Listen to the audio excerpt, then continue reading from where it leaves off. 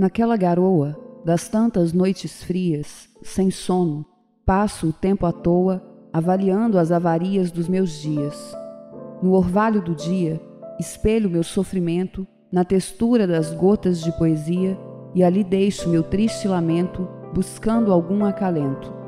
Nada mais há que se fazer, a não ser revidar sem qualquer alarde aquela dor que quero esquecer, mas que no peito arde no chegar da tarde. É uma dor que não passa, pois dor de poeta é sempre crônica, sempre uma dor que devassa essa nossa alma agônica, ainda assim irônica. Por isso, para o poeta, não basta vida de beleza e poesia, pois nem tudo que dá na veneta tem a dignidade da alegria. Às vezes, é só sangria.